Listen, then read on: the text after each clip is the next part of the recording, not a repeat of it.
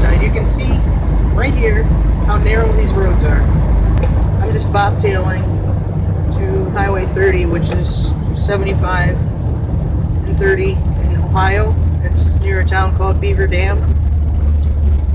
But right here we have a Mennonite church and we all have to stop. So I have to stop recording.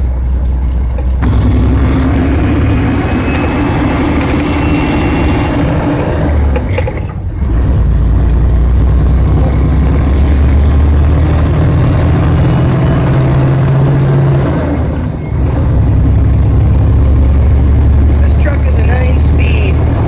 That means it has 9 gears. Uh, here comes a car, so I have to stop recording. This truck has 9 gears. I gotta pick up a load today. It's a loaded trailer in Beaver Dam, Ohio. And I gotta take it to Sydney.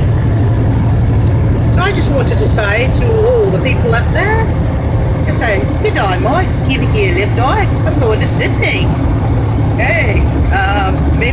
Koala bears. But considering it's Sidney, Ohio, I really don't think that's going to work. But maybe I could give them that accent and I'd like to see the reaction. Everybody have a good day. Take care. Bye.